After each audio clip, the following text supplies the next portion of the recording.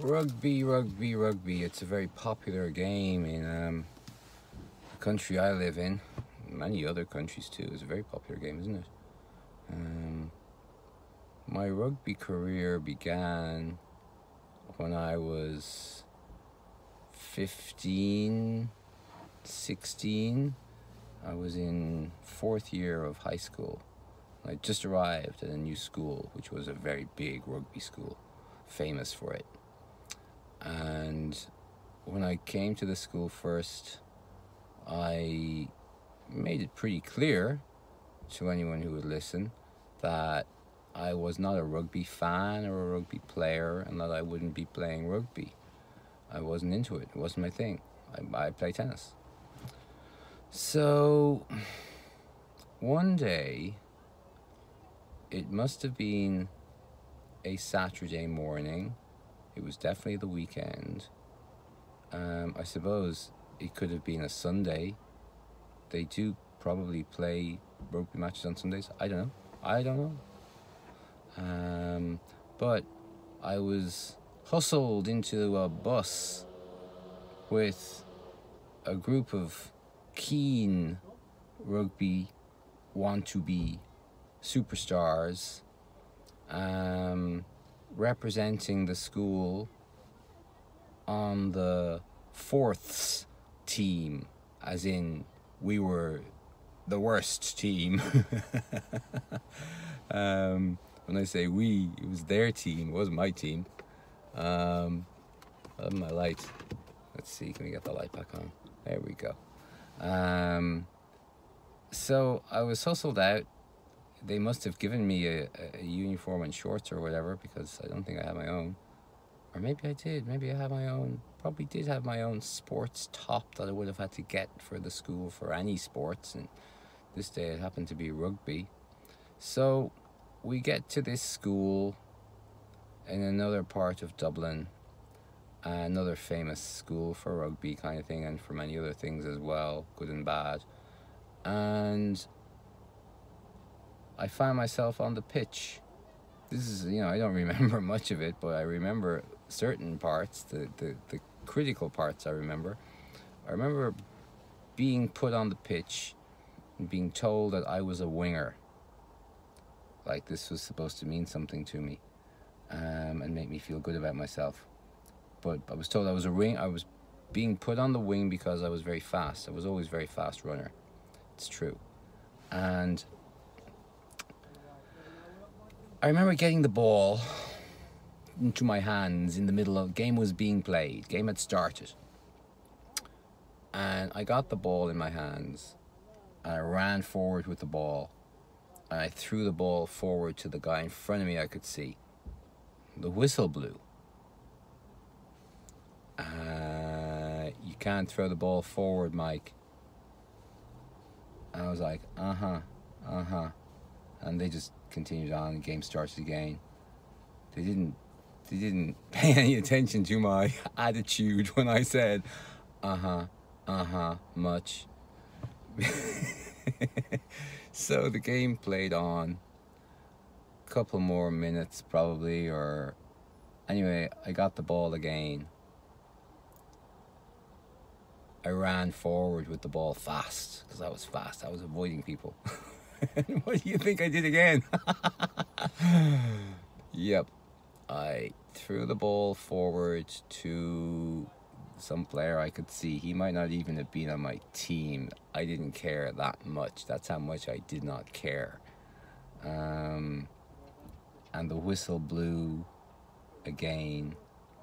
And this time I was called off the pitch, just told to go sit it out the rest of the game. I thought that was a very good idea. um, yeah, so you see, I started, I had four or five years earlier to this when I was still in junior school. In the last couple of years of junior school, I got very into American football. I was watching it. I was getting a monthly magazine all about it. I was collecting fact files on players. I got really into American football from all sides of it. Um, I thought the um, I think the whole spectacle of the game with all of your uh, commercial break adver- advertising opportunities and the, the, the cheerleading and all that stuff, I think it's just nuts. It's not a proper sport. I'm sorry. Um, it's nuts. And where's the light gone? Seriously, it should be easy to find, shouldn't it? Oh, there it is. Oh, the car went off. The, the whole, okay, the whole thing shut down. That, that makes sense. It's energy saving. It's still not coming back on. No, that's no good. Maybe I should open the door and close the door again and then start. No, still nothing. Oh, yeah, I got lights flashing now. Maybe this light will work. Will it? Will it? Won't it? No, it's still not working. Sorry. You can still see me. Who cares what you can see anyway? Um, it's you're listening to what I'm telling you. So in junior school, before high school, I was really into American football to the point that I had gotten my hands on a real American football genuine thing. And I would bring this into school with me every day in the last year of junior school, and we would play at lunchtime with a gang of kids, our own version of throwing the ball, catching the ball, scoring touchdowns, and it was brilliant fun. But what I learned from my American football, I always like to do a deep dive in something, into anything. Since I was a small kid, I would do this. And my dive showed me the um, the danger of um, head injuries and concussions and things with the game. And even though they were wearing helmets and all padded up and everything, there's a lot of there's a lot of problems emerging. People still didn't want to talk about it, but it was um, whispers. And I'll tell you what, nobody ever wanted to talk about nothing like that regarding rugby. No, siree. They did not want to talk about that. They probably still don't. I think they've been forced to accept and acknowledge the damage that is caused by playing rugby. Um, it's not good. It's not good, you know? And I knew this, you see? That's the thing. I knew this from my brief interlude with American football.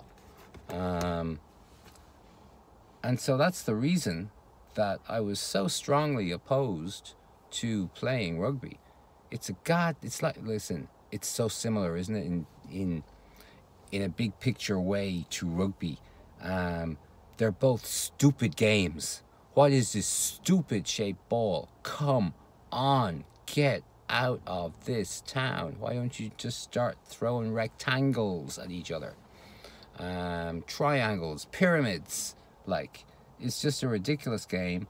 Oh, lights on from the car beside me going away. Very nice. There you go. Floodlights, huh? Um, so, yeah, that was my rugby career. It is not a sport I support at all, one little bit. Um, and I never would.